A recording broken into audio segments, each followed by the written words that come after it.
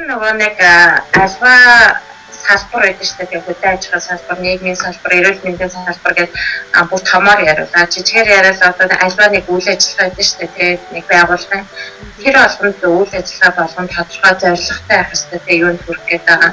Аа тэрэн шиг хүний амьдрал бас өөрөө гэсэн юм бас халбар бүртээ зорилготой байх хэрэгтэй байна гэдэг би энэ уулзалтаараас ойлгоод байна л да. Одоо жишээ би амьдралдаа тий одоо гэр бүлийн хүрээнд одоо нөхрийн хувьд одоо эхнэрийн хувьд би ямар зорилго одоо юунд хүрэхийг ямар байх ёстой гэж юм уу тий? Одоо ээжийн хувьд би одоо бас хүүхдээ ямар хүн болох вэ тэрэнд миний одоо би өөрөө ямар зорилго тавьж тэрэнд одоо ямар үр дүнтэй одоо ахлахмууд хийх үү гэх юм уу тий? А тэрэн тэгээд бас дээрэс нь яг би нөгөө нэг сайн дурын чиглэлтэй өөрийгөө зориулах гэдэг юм чинь а тэрэн дээр ямар зорилго байх вэ гэдэг ингээд бас тусын зорилгоодыг тавиад тэрнтэй ингээд баг багаар одоо сайн асуудыг зааж өгöd илүү хүрэхэд сайн дурын юм хийхгүй байх нөлөөлж байгаа хүчин зүйлс нь юу байгаа шүү дээ сайн сайн дурын юм чи ажилдаа болоод дуртай гэдэг аа тийм. Тий сайн дурын юм хийх гэхлээр чинь чамайг зогсоож байгаа хүчин зүйлс нь яг юу байгаа? Санхүү яваа. Яг гоо миний ирээд хүрэх одоо сайн дурын ажил руугаа би заавал залиас гаргахгүй шилжилт хөдөлгөөн гэдэг маягаар тийм нэг баг багаар юмаа хийж байгаа. Аха. Аа залиас гаргахгүй бас нөгөө зорилгонд хүрч болох юм байна гэж ойлгосон. Аха. Сайн дурын ажлаас яг ямар үр дүн гаргах гэж байгаа чи тэрийг мэдвэ? Мэднэ. Тодорхой өгөр чинь. Аа, ерөнхийдөө бол илүү нөгөө хувь хүн талаасаа гэхээс илүү нийгэм рүү чиглэсэн үр дүнгууд их нэлээх байгаа хгүй юу. Яагаад би хийх гээд миний ингээд бодогдоод ингээд байн олон жил бодогдоод яваад байдаг гэхээр би өөрөө гурав хүүхэдтэй учраас одоо ингээд харахад нийгэмд амар олон асуудлууд байдаг. Тэгэл миний хүүхдүүд одоо 12 нас одоо эхнээс 13 нас хүрсэн байна л та. Тэгээд одоо магадгүй тий 18 20 30 наснд хүрэхээр начин болоод ирэхээр тэр нийгэм ямар байх болоо гэж боддог байхгүй. Тэгээд тэр хүмүүсийн маань нийгэм илүү сайхан, их тайван тэгээ одоо аюу сайхан тийм шутраас идсэн шиг юм тий.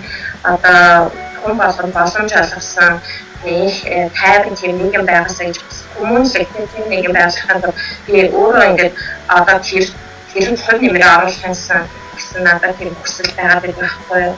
Тэр маань намайг одоо тийчилж явах юм байна. Тэгээд тийшээ ажиллахаас ингэж амар их одоо нэг ясандаа passion тэр надад хүсэл юм уу байхгүй юу нэгсэн даа.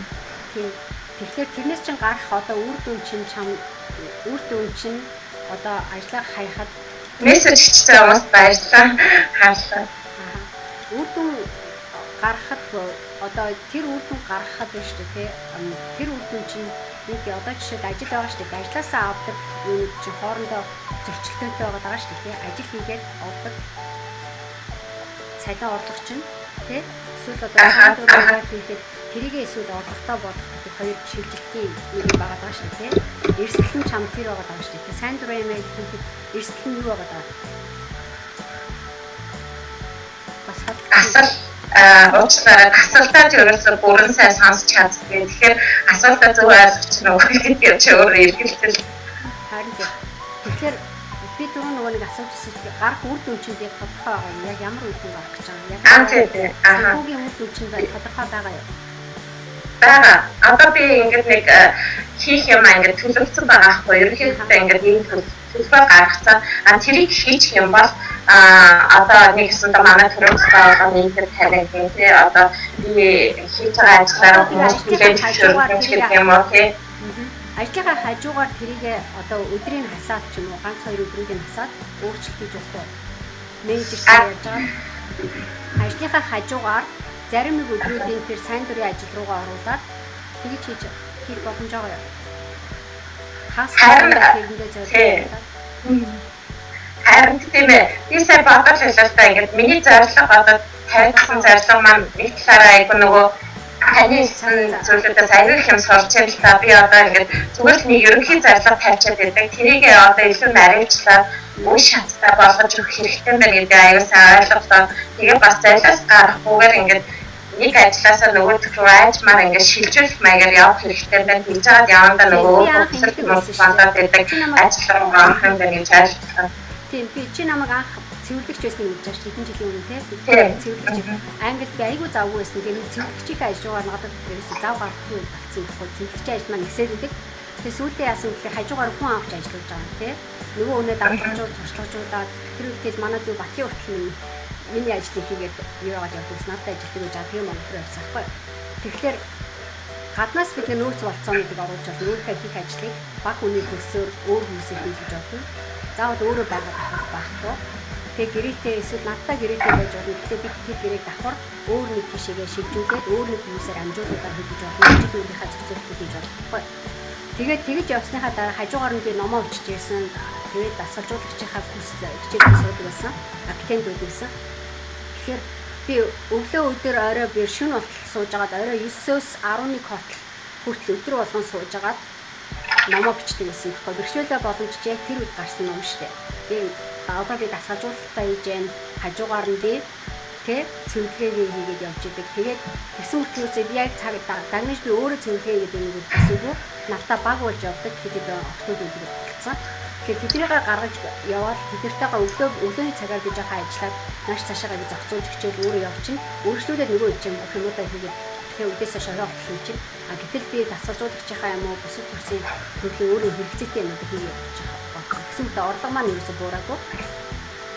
Тэгэхээр тэгэхээр би миний тэр хоёр шилжилтийг хийхэд санхүүгийн юугаа потенциалаа би алдаж болохгүй байсан байхгүй. Тэрийг алдахгүй тул баг багаар үйлчлүүлэгчтэйгээ би цагийнхаа контрактыг бид нэр өөрчилж байгаа гэрээгээ сольж байгаа. Би тэрэн дээр ном дээр айгүй тодорхой хэлсэн тийм тэр хэсгийг санаж байна. Тийм. Тэгвэл яг тэрийг би яриад байгаа байхгүй. Тэ?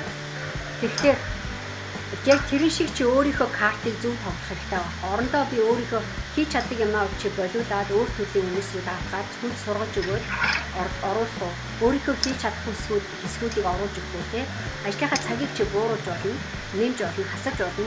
Өглөө өдөр орой би одоо жишээ ном бичгээд орой 9-өөс 11 цагийн хооронд өдөр болгон 2 цаг штэ те хүүхдээ оронд нь оруулж унтуулж хүүхийн амьтны үдүүлж үдүүлж жагаад оронд нь орж унтуулаад 8 мэдээс 9 хүртэл те. Тэгээ жоохон өнгөрөөж байгаа хэрэг чигснээ гойчод унтаад өнгөртөө би номдоо ордог байхгүй. Тэгээ хаасан сандаа бол цэвэр тэрэндээ дайштаад ажиллаж чинь дээш дэшээ яваад нааш цаашаа хүүхдээ жоохон тоглоо. Гадаа паркт бий ангата хажууд нь лаптоп авчиж номоо өчөөс сууж гэсэн байхгүй гих жишээ нь тий хүүхэд тоглоодох хооронд төгсгөл юм амжуулж болдог бичих стат тест хийсээс юм уу чинь бүгдийн тэр жижиг алхмууд одоо хурж байгаа шүү дээ том төлөвлөгөө байгаа мөртлөө хичнээн хувийн юм бид нар хийх гэж байгаа гэсэн тэр чинь орлоготой эхний хэмжээнд хин намайг тасгалжуулах гэж байгаа юм тий маш цөөхөн хүмүүс надтай би одоо дадлахаар зөндөө олон хүмүүсийг өнгөө тасгалжуулдаг гэсэн өнгөө хүмүүстэй харилцдаг гэсэн заадаг гэсэн тий ийм учраас хүмүүс би өөрөө чадвартай болчихж байгаа байхгүй тэр хугацаанд а тэр хүмүүс юм уу хүрдэг болтол нь Тэр дээр би интигээ клиентуудтайгаа ажиллаж байгаа. Миний анхны хийжсэн англи нөө коуч акценттай хийжсэн бүрийн дотор би өнгөө асууж болох хийжсэн шүү дээ. Тэр чинь 6 сарын үед өнгөө асууж бол тэгсэн мэт айгүй том төсөл байхгүй. Зөндөө олон баг 10 20 дасгалжуулагчийг одоо хичнээн өмнө 100-аад хүнтэй ажиллаж байсан байхгүй зөрүүгээд тэгэхээр чинь бид нар тэр хооронд чинь хичнээн цаг өдрийн 2 3 цаг өдөртөө нэг би өглөөд нь оройд нь 2 3 цагийн юунууд хийгээл тэр дасгалжуулагчийн хааны тэгээд цагийн үеэр тавьчихна. Тэр нь хоорондоо ажиллаад хажуугаар нь би үнэтэй болох хэмжээний одоо үнэ боловсруулаад ямар үнэтэй байв яа түүнээс яа дасгалжуулах австай. Тэр бүх юмудаа ингээд яа бичиг баримтаа бүрдүүлээ те. Тэгээд тэр ихийг би нөгөө амжилтанд хүрэх бодолтой алхам гэдэг сахин бичээгээ бичдэг байсан шүү дээ чинь тий. Айгу баг үнээр би гаргаж үзтээ тий 100 доллар үү 50 50 мянган доллар хамгийн анхны section заяа 50 мянган төгрөгөөр бүтэн жилийн курс авах гэж байгаа бодоод үзтээ. Тэгэхэд би айгүй олон цаг уцтаа бодож исэн үгнээс тэр бүртгүүлсэн хүмүүс одоо хүртэл надтай холбоотой хүмүүс зөндөө байдаг ш. Тэгээд игма хүртэл мэдж байгаа тий. Игма тэр үед надтай холбогдчихсэн ш тий. Чи чи гэсэн тэр үед үү? Тэрний өмнө ч үү? Тэгээд би уунаас тантай одоо 11 оноос хойш холбогдсон байгаа юм. Аа тэгээд энийг ямар сайн бас бодсон. Ингээд ганцхан байгаа гэдэг мөртлөө нөгөө зорилгоо зүлгэж Аа яг зөв. Тэгээд тэгэл нэг юм тавьчаа тэгээд цаа би нэг хүрнэ гэж бодож яваад би чамд зөвлөгөө юу байгаад байна? Ер нь зөвс.